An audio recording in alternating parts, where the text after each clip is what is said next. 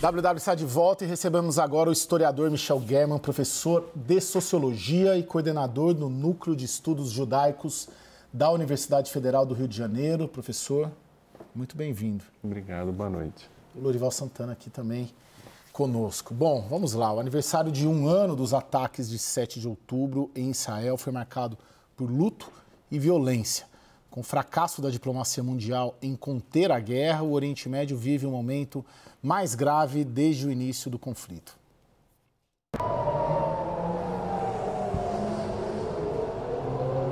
No primeiro ano dos ataques, as sirenes em Tel Aviv voltaram a ser acionadas, alertando sobre foguetes lançados pelo Hamas. No norte do país, o Domo de Ferro entrou em ação contra disparos do Hezbollah, do Iêmen, a 2 mil quilômetros de Israel, os Houthis disseram ter lançado dois mísseis, também interceptados pelo sistema de defesa aérea.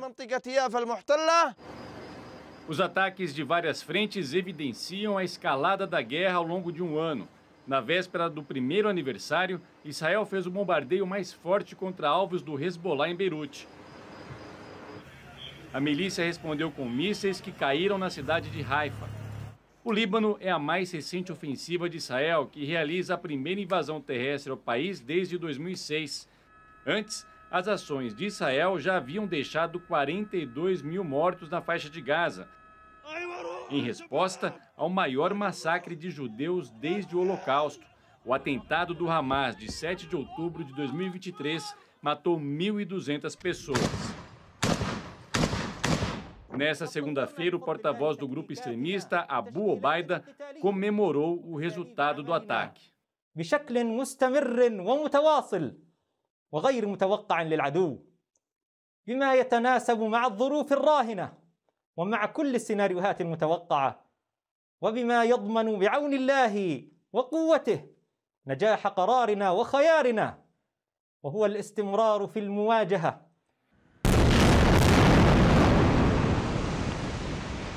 Até hoje, Israel afirma ter matado milhares de terroristas e dezenas de comandantes do Hamas em Gaza.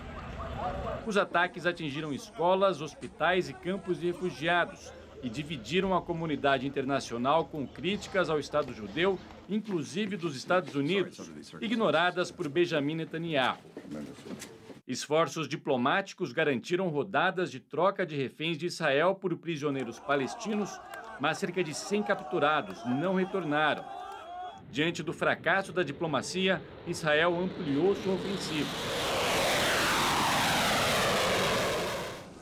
Em abril, um ataque ao consulado do Irã na Síria matou um general das forças Quds, braço paramilitar de elite da Guarda Revolucionária.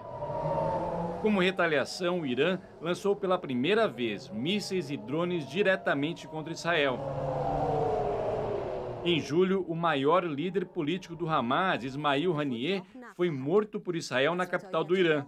Em setembro, a explosão de pagers e walkie-talkies numa ação de inteligência do Mossad feriu milhares e matou centenas de integrantes do Hezbollah no Líbano.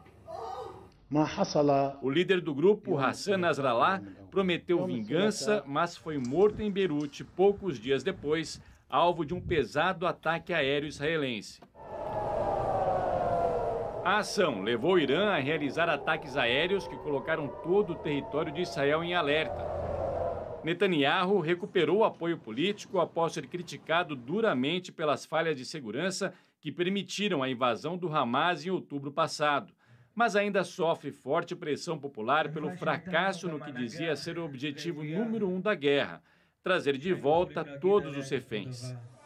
Fora de Israel, o mundo acompanha os possíveis impactos da guerra do Oriente Médio na já delicada relação entre grandes potências ocidentais e autocratas, diante do aumento cada vez maior das tensões entre Tel Aviv e o Irã. זוהי מלחמת הקיום שלנו, מלחמת התקומה. אנחנו משנים את המציאות הביטחונית באזורנו למען ילדינו, למען עתידנו, כדי להבטיח שמה שקרה ב-7 באוקטובר לא יקרה שוב, לעולם לא עוד.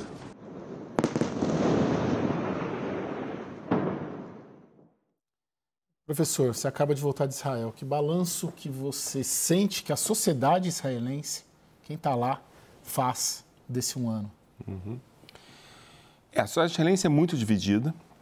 Você tem uma sensação de que a situação vai piorar, né? você não tem uma perspectiva de otimismo no ar.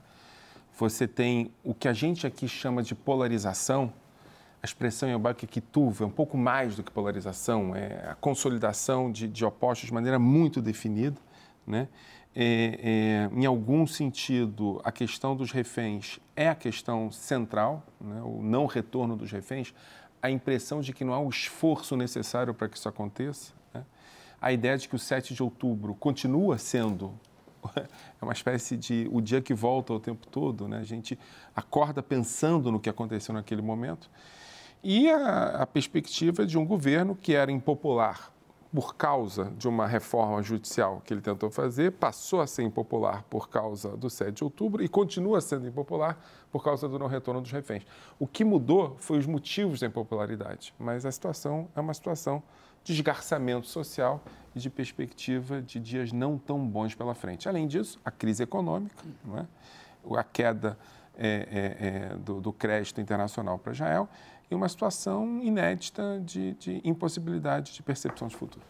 Ô, Loura, Israel está mais segura ou insegura? Mais insegura, claro, né? Ah, toda a carreira do Netanyahu foi fundada eh, na promessa de eh, oferecer segurança. Ele abandonou uma fórmula clássica da região que era terra por paz, né? e, e garantiu que ofereceria segurança sem, uh, sem desocupar a Cisjordânia e Jerusalém Oriental. E foi muito bem sucedido, né? Ele é um grande estrategista político, né? E um sobrevivente, navegando aí, como Michel descreve, de, de motivo para motivo de impopularidade, é, não respondendo às frustrações dos israelenses. Né? É, e isso que ele disse, o que o Netanyahu disse aí, é que a região vai ficar mais segura, é absolutamente infundado, né? porque é, ele, não, ele não tem condições políticas de fazer um, um acordo de cessar-fogo com o Hamas, porque os ministros das Finanças, da Segurança e agora um ministro sem pasta, que juntos tem 17 cadeiras no parlamento, ele que garante uma maioria de apenas oito que ele tem, né? Agora, é, não desejam, não aceitam esse acordo, né? Então ele se volta para o norte e cria um novo fronte para uma nova guerra, uma nova guerra não, são guerras que já existem. Aliás, não é nada preciso dizer que essa guerra começou há um ano, né? Essa guerra é, nunca houve uma, uma situação de normalidade é, entre Israel e os palestinos e os vizinhos árabes, com exceção do Egito e Jordânia, mas enfim, naquele contexto ali maior do Oriente Médio. Então é, ele está indo no caminho inverso de garantir a segurança de de Israel. Né? Ele está alimentando, retroalimentando os radicalismos. Ele está, neste momento, desbastando a capacidade militar do Hamas e do Hezbollah, eh, retirando do Hamas a possibilidade de ser ali uma entidade administrativa da faixa de Gaza, né? e, e, e, e decapitando o Hezbollah? E também o Hamas. Mas esses dois grupos, como ideologia extremista, ele está reforçando, assim como a posição dele e dos ministros mais radicais dele se reforçam também, se retroalimentam nesse contexto. Professor, esse avanço para o norte, nessa, nesse front, no Líbano, ele não amenizou um pouco essa impopularidade? Pelas últimas pesquisas, não. Quer dizer, houve um, um, um shift de apoio da extrema-direita para a direita. Quem perdeu apoio foi a extrema-direita em relação à direita de Netanyahu. Não sei se ele pode ser considerado ainda um político de direita, mas é, é, é, o, o Ben-Gvir perdeu votos e o Netanyahu ganhou votos do Ben-Gvir. Você continua tendo um bloco muito fortemente de oposição a Netanyahu que continua votando, ou pelo menos quer votar contra o Netanyahu. Né? Agora, o que o Lorival falou é verdade. A situação é, é, tem uma diferença entre, entre Hamas e o Hezbollah em relação a, a, ao, ao, que o, o tem feito. O Netanyahu efetivamente tem demonstrado que o nível de infiltração e de informação que ele tem no Hezbollah é um negócio impressionante. Né? E aqui ele tenta, a partir dessa, dessa demonstração de força, e força de informação, não só né, é, é a questão dos pages e tudo mais, é, é, mostrar que ele superou o 7 de outubro. É essa a intenção de Netanyahu. Dizer, olha, aquele equívoco que aconteceu não vai acontecer de novo porque eu estou dentro do Hezbollah, eu estou conhecendo o que está acontecendo. Agora, se isso é uma demonstração de força, isso ainda não se produziu intenção de voto. Aliás, intenção de voto para quando? Né? Porque eu acho essa dimensão que o Lorival trouxe de, de sobrevivência é muito importante. Netanyahu continua evitando que haja uma eleição. Né? A situação é terrível, economicamente, socialmente, politicamente. A perspectiva de avanço em direção a um conflito e outro conflito e outro conflito continua. Não tem nenhuma perspectiva de paz, mas a coalizão de Netanyahu não cai. É um sobrevivente político. Sim. Dá para dizer que é o Irã que está ganhando a guerra? Eu acho que num artigo esse fim de semana eles colocam. É, o Irã não morreu ninguém do Irã. Ninguém assim, né? Como morreram libaneses ou como morreram faixa de Gaza. Conseguiu transformar Israel num párea internacional. É, manteve o arsenal. E questionando justamente isso. O Irã não é um, uma coisa só. Assim como Israel não é um monolito, o Irã também não é. Né? É, a, a, morte no acidente de helicóptero do Ebrahim Raizi, que era um ultranacionalista, é, permitiu a eleição e, e permitiu e o, o, líder espiritual permitiu que acontecesse a eleição, porque ele tem poder de veto né, sobre os candidatos, de um moderado, dentro do contexto da teocracia islâmica, bem entendido, né, dentro dos padrões aceitáveis, que é o Massoud Pezeshkian, Pezeshkian que é, se elegeu prometendo restabelecer um acordo nuclear com o Ocidente. Né? A, a, classe média iraniana sofre muito com as sanções, com o isolamento é, do Irã. Agora, é, essa dinâmica entre Israel e o Irã, né?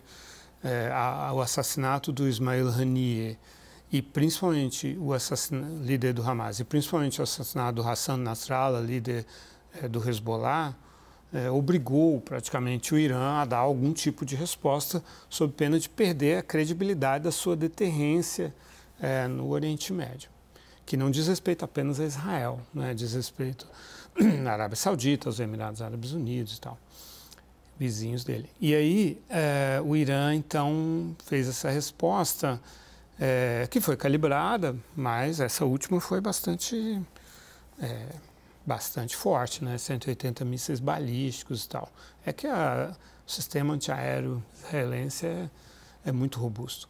Mas, mas é, o que eu quero dizer é que essa tendência mais moderada de buscar uma aproximação com o Ocidente fica muito prejudicada e aí ganha força uma tendência dentro da teocracia iraniana mais radical, mais ultra, ultranacionalista. Então a resposta é essa tendência radical, é, mais pró-China, pró-Rússia, Coreia do Norte, Venezuela, esses alinhamentos aí saem fortalecidos. O professor, eu também queria pegar essa sua percepção recente de lá. Você acabou de chegar de Israel.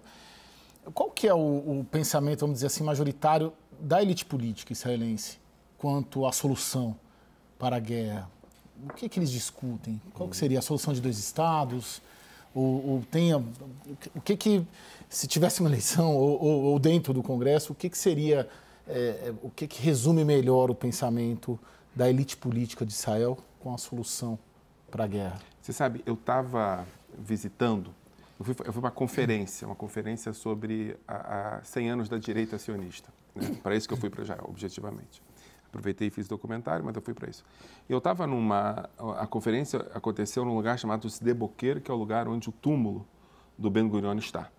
A gente estava filmando e de repente a gente vê passando diante de nós Gans e alguns deputados do partido do Gans, fazendo uma espécie de uma atividade lúdica sobre o que, que é Ben Gurion para eles. Só explicar, Ben Gurion é uma fundação, o primeiro primeiro-ministro de Israel e o Gantz é um general. O general que foi, que foi ministro até pouco tempo atrás, e agora é da oposição. É da oposição. Agora, qual é a lógica disso assim? Eu, eu, o país está pegando fogo. Assim, Bibi Netanyahu tem o controle das estruturas de uma maneira que ele pode atacar o, o, o Líbano na hora que ele quiser e voltar. Você tem a impossibilidade concreta de qualquer horizonte de expectativa de final da guerra de acordo. E o líder da oposição está fazendo uma atividade lúdica no entorno do túmulo do Ben Gurion. Assim, são essas sortes que a gente tem que, na verdade, representam efetivamente a situação da oposição em Israel. Não está se pensando estratégia. Na verdade, o próprio Benjamin Netanyahu é uma máquina de pensar tática. Ele pensa a sobrevivência dele e de seu governo, uma atrás da outra. Não há horizonte de expectativa de longo prazo. Mas a oposição também não tem. Então, assim, se a sua pergunta é dois estados, avanço, negociação com, com a autoridade palestina, fortalecimento. Eu não sei, eles estão no túmulo de Ben Gurion produzindo uma, uma atividade lúdica. É uma falta de, de, de, de, de contexto impressionante. Né?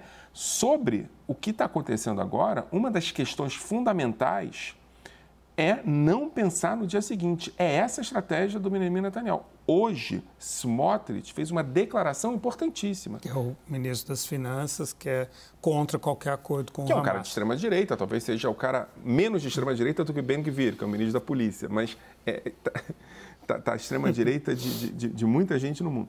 Ele diz, olha, vai ser necessário, para libertar os reféns, olha a lógica, ocupar o norte de Gaza. Entendeu?